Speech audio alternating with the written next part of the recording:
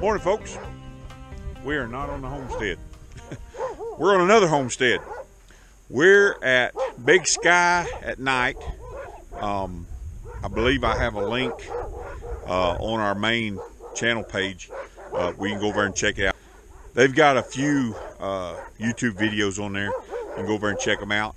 What we are doing here today, we were out here the other day and we put in the, this bracing. They built this fence quite a while ago, kind of fast, to keep cows out. They have a garden over the way there, and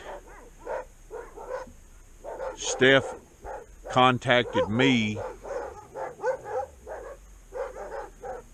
to come in and, and brace it up and hang the gates. So we installed this gate post right here, a little bit heavier duty post, uh, built an A-frame corner.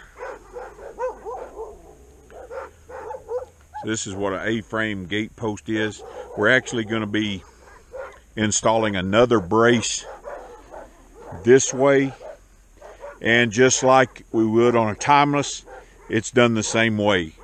We measure out five feet and three feet. We dig a trench and we cut the brace on an angle and bury it in the ground. That's what we're going to be doing here today. I'm going to show you how to how we put the brace together once we get the hole dug and everything. Tell me what's square here. I don't want to be out this way. Even back a little bit is okay, but not out here.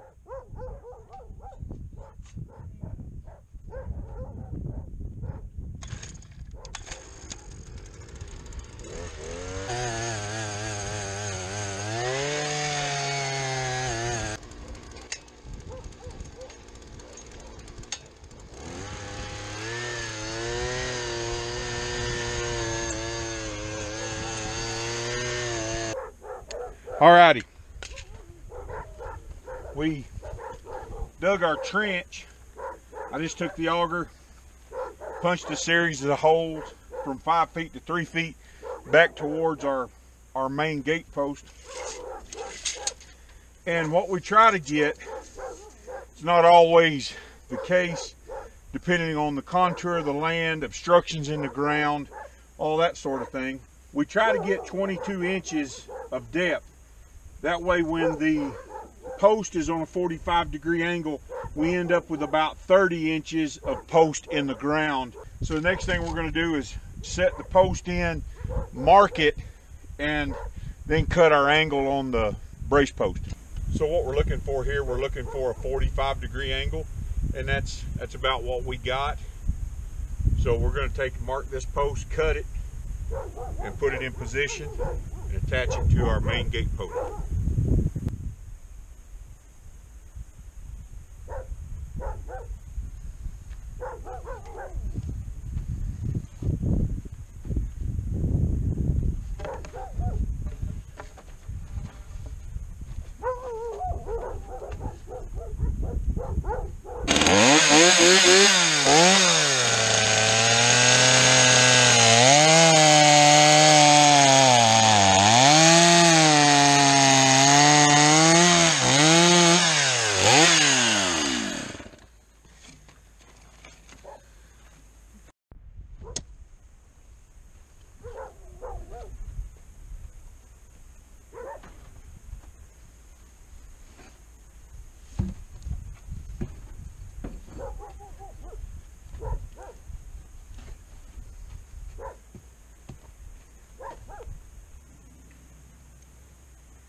We're using a six inch TimberLOK screw and I really love these things.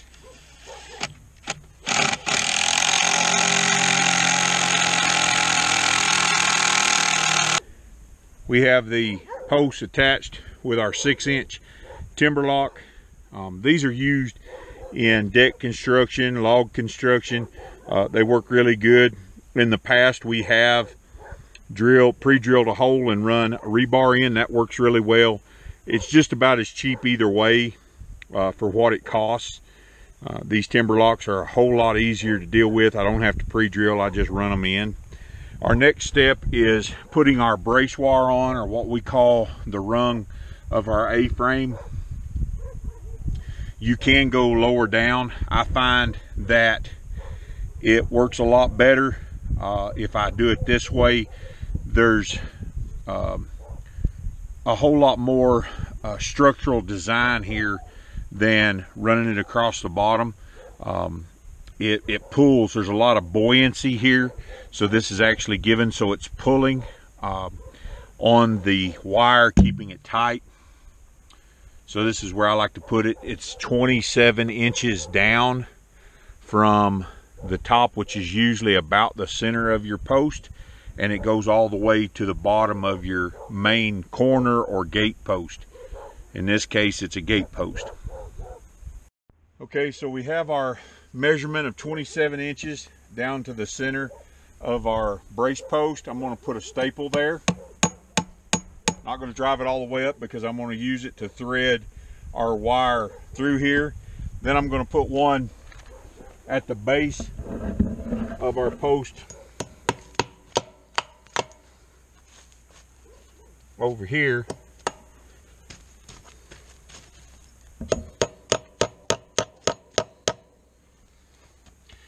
so I can run that wire around.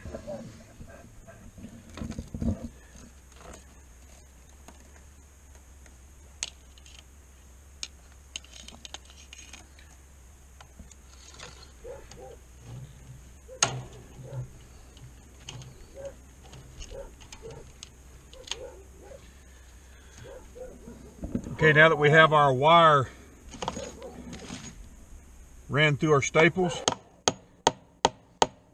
just going to tighten that up and then I'm going to twist it the ends around on both sides.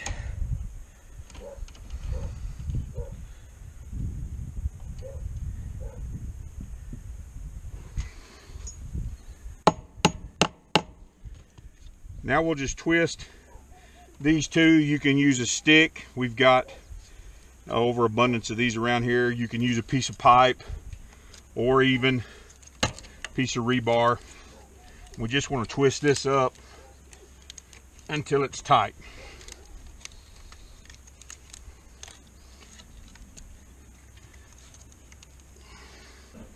So I want to talk about the placement of our wire and why I do it this way. Um, most people would attach this wire and run it straight across and tighten it. It's been my experience. And it, this fence is not that big and we're just holding a gate.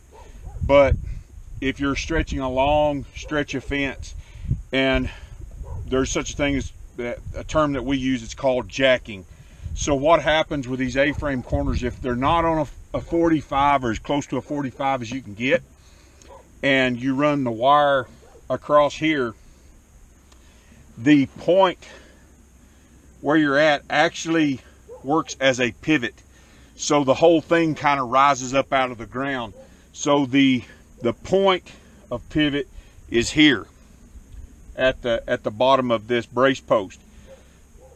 And the whole thing it will jack out of the ground, particularly if your top strands, if you're running high tensile or bob wire, are, are really tight.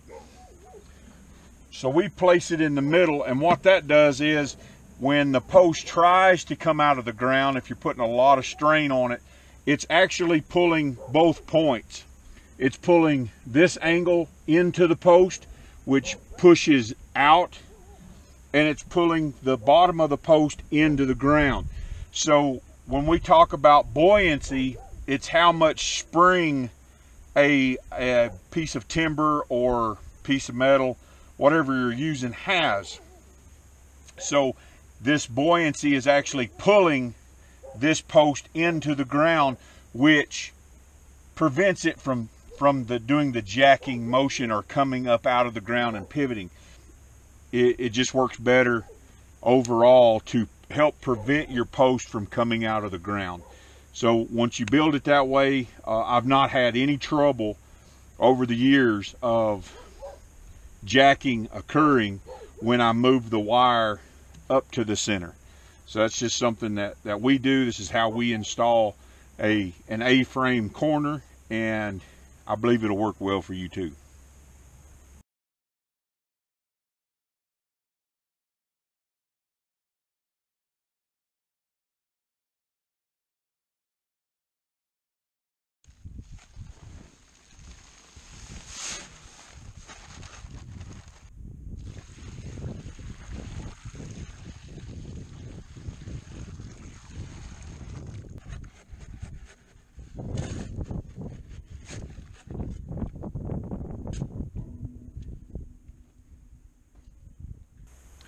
Alrighty folks, what we're looking for for a gate post or a corner is at least 30 inches, which is what we have here approximately. 32 to 36 is awesome.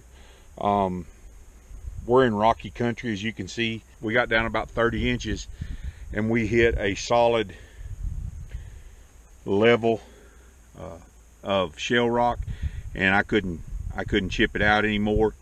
So we're close enough that we're going to take and we're going to set this post. Here's just some of the tools we use. Uh, we have an auger. Uh, we actually picked this up at a big box store. I like this spring kickback feature. It won't take and hurt your shoulders and your arms as bad. I have had it kicked completely out of my hand. Uh, the rock has really wore down the blade just working around the homestead and other places. We're using a really good quality uh, set of post hole diggers. Uh, you can buy the cheaper ones. Uh, I really like these. They, have worked real good so far. And then of course you need a rock bar. Um, this one here's wore down. It's, it's, it was used when we bought it and we have used it since quite a bit. Uh, busting out rock, chipping out rock. And you can buy them at any big box store the uh, square. Again uh, you don't have to have it. You can use a regular level but this lets us be a little bit more hands-free when we're setting posts. We don't have to sit there and hold a level check it check it. We can move it around as we need to. So that's just some of the tools we use. Of course hammers pliers bolt cutters measuring tapes uh, all those things are needful if you're going to do fencing and do it right. The other thing is take your time and pay attention to detail. Overall, that's what makes a good fence.